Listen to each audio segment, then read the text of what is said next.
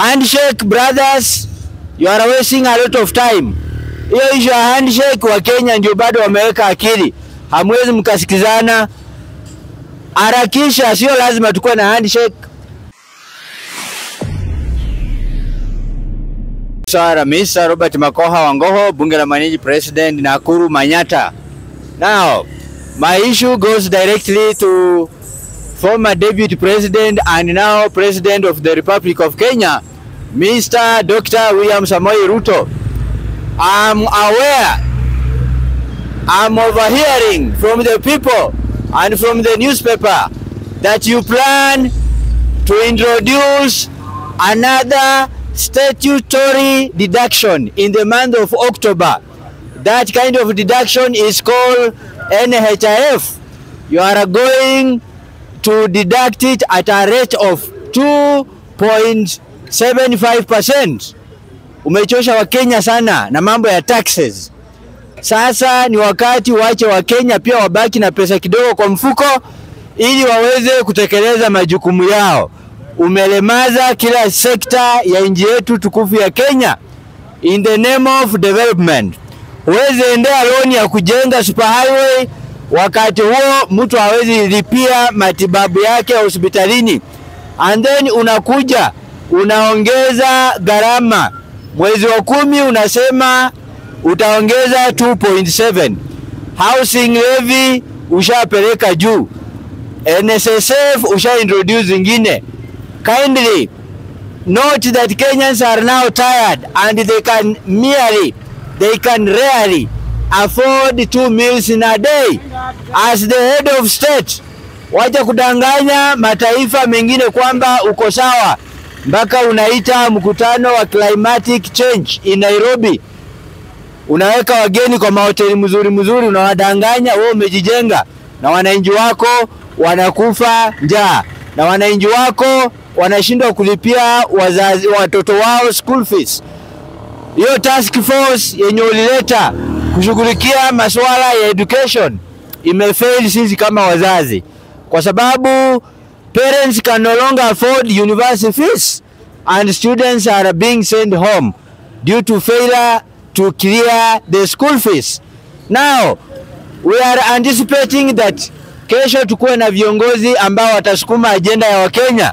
Kesho tukuwe na president kama wewe kutoka miongoni mwa vijana wa leo, lakini kama hawezi wakapata pesa ya kulipa karo ya shule, kama hawezi wakapata pesa ya kulipia mitihani, kama hawezi wakapata pesa ya kulipia field work ya masomo yao, watakuja kuwa viongozi wa kesho namna gani?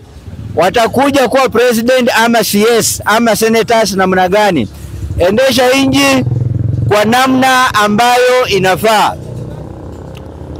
Handshake brothers, you are wasting a lot of time.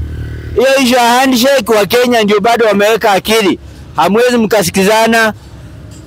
Harakisha, sio lazima tukuwe na handshake. Harakisha hiyo issue haraka, sema hakuna handshake, sisi turudishe wananchi kwa uwanja. Hiyo tu ndio mbinu ambayo sisi wananchi kikatiba tunaruhusiwa na tunaweza tukasukuma serikali nayo.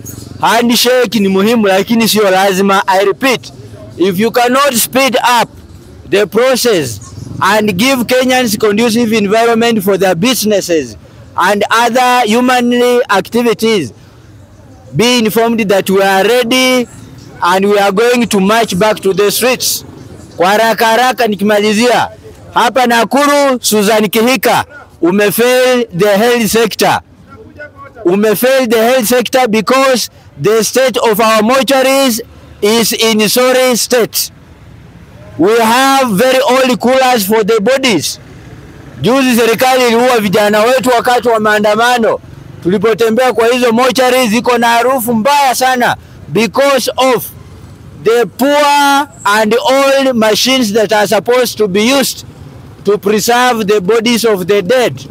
Tuko na coolers kama tatu peke yake, na unaona hizo coolers, one is supposed to accommodate a total of 48 bodies due to the situation that is unavoidable.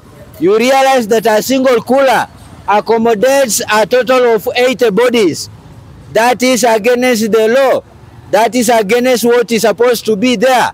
Therefore, it is upon you to stop your cheap threats and consider putting the county of Nakuru health sector at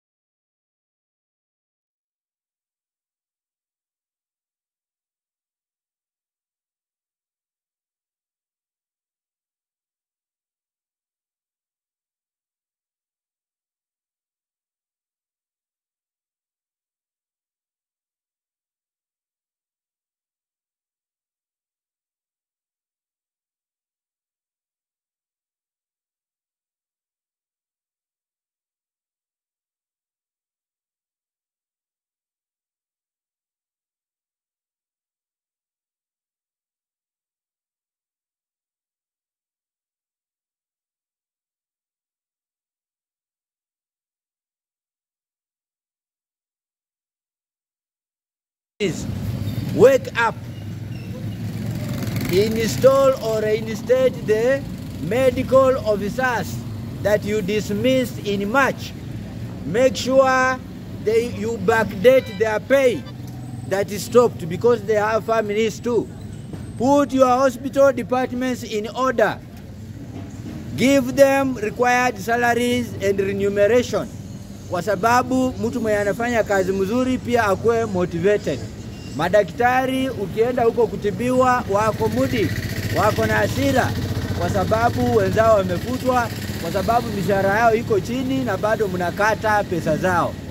So mtu hata akienda kutolewa damu kwa laboratory ina take a whole day ujapata results due to very little personnel, na wewe unaingia badala uombe national government more allocation to make sure una hire these doctors, na dismiss wengine wanaenda nyumbani.